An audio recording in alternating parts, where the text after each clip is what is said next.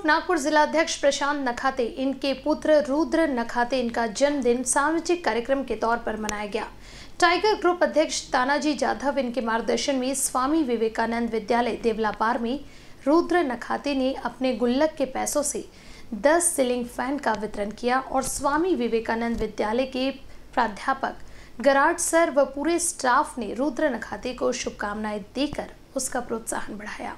इसी के साथ ही आदिवासी आश्रम स्कूल देवलापार में अनाथ और दिव्यांग निराधार बच्चों के साथ जन्मदिन मनाया गया और बच्चों को अल्प उपहार और केक दिया गया। इस समय प्राध्यापक कंगाले सर और पूरे स्टाफ ने शुभेच्छा देकर आशीर्वाद दिए और उपस्थित टाइगर ग्रुप उपाध्यक्ष जीतू दगड़े टाइगर ग्रुप कार्यकारी अध्यक्ष चंदू वैद्य, टाइगर ग्रुप संयोजक दिलीप वाहने, टाइगर ग्रुप नागपुर दर्शन जावड़कर, संतोष संतापे नीलेष कावड़े, काजल पाठक, बबीता नखाते, मेशराम, जयश्री कावड़े इत्यादि उपस्थित थे। इसी प्रकार सामाजिक कार्य कर जन्मदिन मनाया गया।